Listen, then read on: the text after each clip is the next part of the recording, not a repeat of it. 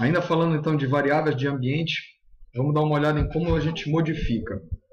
No Windows eu já cheguei a, a mostrar, nos exemplos anteriores, como é que a gente modifica, por exemplo, prompt, certo?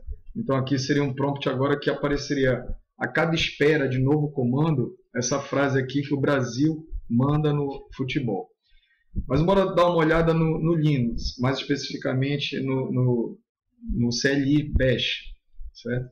Nos comandos que seriam o, o echo e o export. Então eu entrei aqui na máquina virtual que eu estou rodando no Windows e aqui eu estou então com um, um CLI né, esperando comandos, por exemplo, eu posso é, dar o comando para ele me informar, listar os arquivos nessa minha pasta. Eu posso dar o comando para limpar a tela. Notem que no DOS era CLS, aqui já seria clear. Então esse é um exemplo de um comando que muda, né, o, o, que muda o nome quando sai do Windows para o Linux ou vice-versa. E aqui com o echo, eu posso olhar os valores das variáveis de ambiente. Então, bora investigar path. Mas se eu fizer assim, ele vai entender que path é uma string simples e vai ecoar. Não é o que a gente quer. A gente quer o valor da variável de ambiente. Então, no Linux, eu tenho que indicar isso através do dólar. E aqui vem a lista, e aqui é o primeiro diretório, né, user local sbin, e aí vocês notam que, diferentemente do Windows, que separa por ponto e vírgula, no Linux a gente separa cada uma das pastas na, na, na lista da path como sendo é, com o caractere de dois pontos. Então, eu tenho esses vários diretórios, e aí, basicamente, se eu quiser mudar né, um, um, um deles, quer dizer, mudar não um diretório, mas quiser mudar uma variável de ambiente, eu posso usar o comando export. Então, digamos que eu quero mudar o path para que ele seja, além do que ele era antigamente, nota que eu preciso usar o dólar para informar, mas eu vou acrescentar no final dessa lista um novo, é, uma nova pasta, certo? E aí agora quando eu faço echo, eu tenho, olha, no final da lista uma nova pasta. Se eu fizer uso de uma coisa como essa,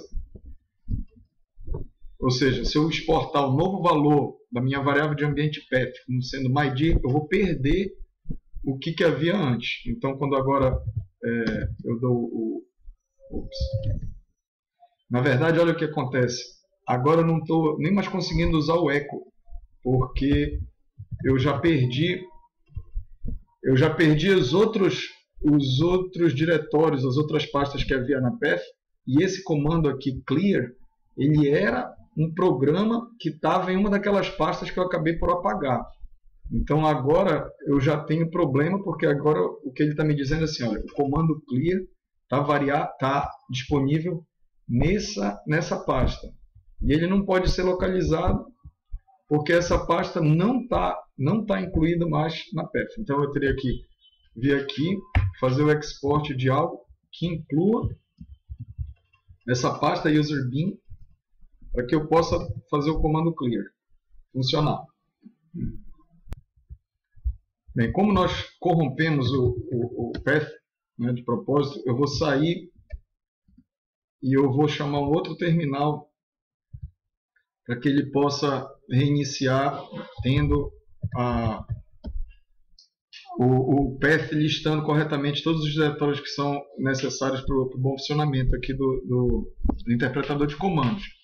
E o que, que, é importante é que às vezes a gente quer fazer com que as modificações que nós é, fizemos nas variáveis de ambiente, não só na PF, mas em outras variáveis de ambiente, a gente quer que elas sejam definitivas, não queremos ficar fazendo a cada vez. Então, cada sistema operacional tem arquivos que permitem que essas variáveis de ambiente sejam é, é, modificadas e o sistema operacional permite então que a gente coloque lá essas modificações, porque toda vez que a gente abrir, por exemplo, o interpretador de comandos, aquilo vai rodar.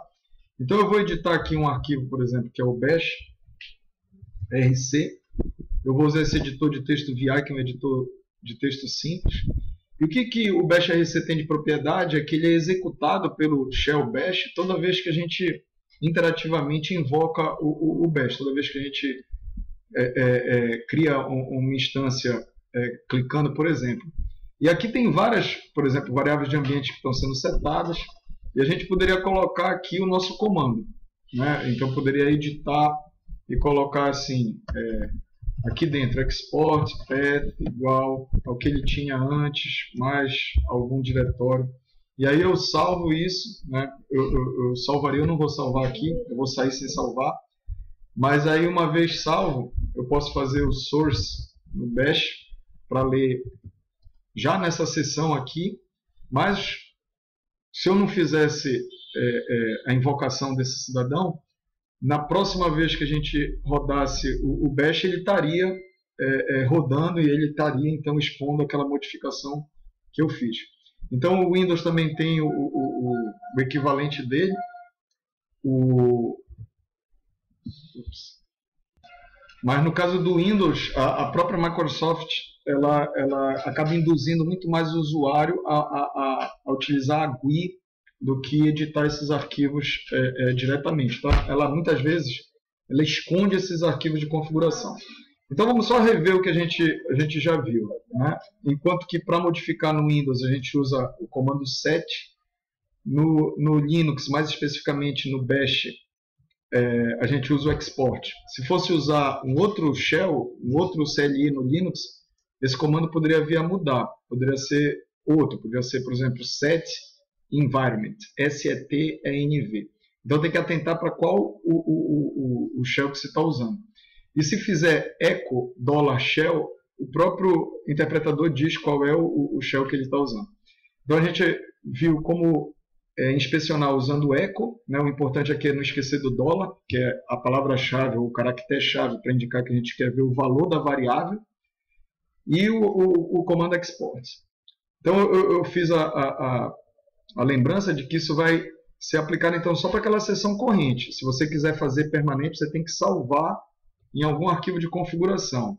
Então no Linux a gente pode modificar o bash rc, no Windows, por exemplo, se você quer modificar especificamente essa variável de ambiente path, eles esconderam, a Microsoft escondeu, você tem que ir no, no computador, né, clicar com o botão direito, né, fazer um right click, e aí seguir propriedades avançadas, e lá está as variáveis de ambiente, incluindo o, o, o path.